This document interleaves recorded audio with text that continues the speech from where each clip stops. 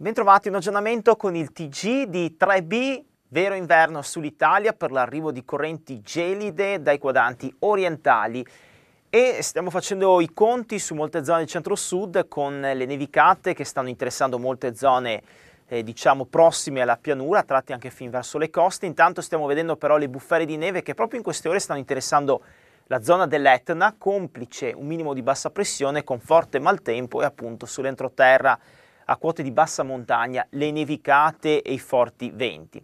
Ma non solo, la Sicilia, in generale l'Appennino meridionale è interessato in queste ore dal maltempo. Qui eh, da queste immagini possiamo vedere quello che è successo questa notte sul Riminese, le nevicate che si sono spinte fin verso la costa eh, romagnola, pochi i centimetri, solo una spolverata in pianura, ma sull'entroterra invece la nevicata è stata un po' più consistente con 20 gelidi eh, di Grecale. Ecco eh, le belle immagini che ci giungono eh, proprio dal Riminese nella serata e nottata di ieri con la spiaggia tra Cattolica, eh, Riccione e Rimini che si è svegliata imbiancata questa mattina.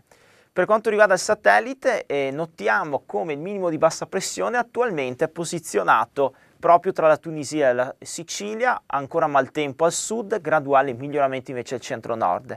In sintesi la previsione per le prossime ore, attenzione a fenomeni intensi severi sulla Sicilia, con neve in montagna fin verso i 500-700 metri di quota. Ultimi fiocchi di neve e precipitazioni anche a sud peninsulare sul medio Adriatico meglio altrove. Nel weekend invece torna l'anticiclone, quindi venerdì ultime precipitazioni anche abbondanti sulla Sicilia, poi nel weekend bel tempo un po' dappertutto, eh, con un aumento delle temperature perché l'aria gelida verrà sostituita da aria un po' più temperata da ovest.